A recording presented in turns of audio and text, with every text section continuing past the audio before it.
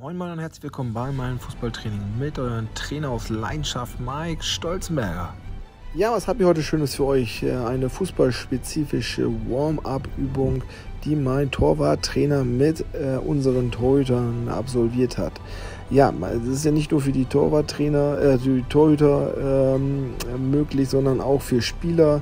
Ich finde es sehr fußballspezifisch hier mit äh, Fußarbeit der kleinen Hürden und dann über etwas größere Hürden, wo sie rüberspringen, gerade Sprünge wie seitliche Sprünge, wie man hier sieht.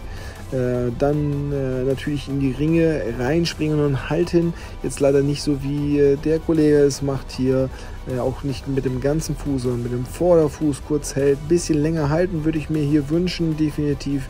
Ähm, ja, und dann das äh, genaue Passspiel, genau, das ist auch wichtig heute im Torwartspiel, allerdings aber auch ähm, für die Spieler.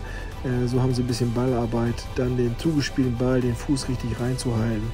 Solche Geschichten äh, sind da natürlich gefragt. Immer wieder Konzentration auf den Ball äh, und dann natürlich wieder weiter in die Station zu gehen.